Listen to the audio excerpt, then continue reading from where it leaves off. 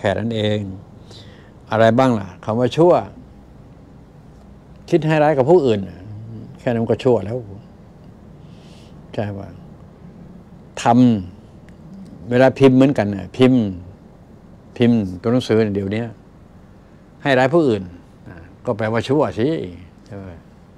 นั่นแหละ มันก็คิดชั่วทำชั่วก็คือพิมพ์ชั่ว เห็นไหมครับ ให้ร้ายป้ายสีผู้อื่น ด่าทอผู้อื่นเนี่ยทำนองเนี้ยครับ แค่นี้มันก็บอกให้รู้แล้วว่า จะตายดีหรือเปล่าไม่รู้เนาะประมาณนั้นนะครับ ส่วนมากมันจะตายไม่ดีนะที่ว่า นะ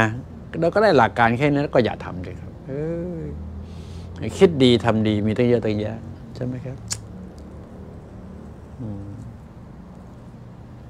นะมนุษย์มันจะมีอคติหนึ่ง ถ้าใครก็ตามที่รู้และคิด หรือพูดเดี๋ยวนะ ใครก็ตามที่รู้ใดๆก็สุดแท้แต่ รู้แล้วคิด แล้วทำแล้วพูดไม่เหมือนเรา มักจะไปกล่าวหาว่าเขาไม่ดีตัวนี้มนุษย์พันธุ์นี้มีเกินกว่า 50%แน่นอนนะครับ มนุษย์พันธุ์นี้จะมีเกินกว่า 50 มันถึง 8 ถึง 90เปอร์เซ็นต์นะ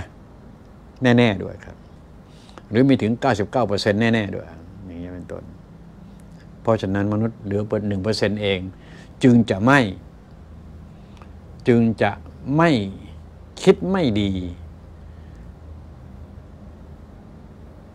แล้วก็ไม่พูดไม่เขียนไม่ทำสิ่งที่ไม่ดีนั้นกับใครๆ นั่นมีเพียงหนึ่งเปอร์เซ็นบอกให้กระดาษในโลกนี้นะครับเจ็ดแปดพันล้านคนเนี่ยแปลว่าท่าน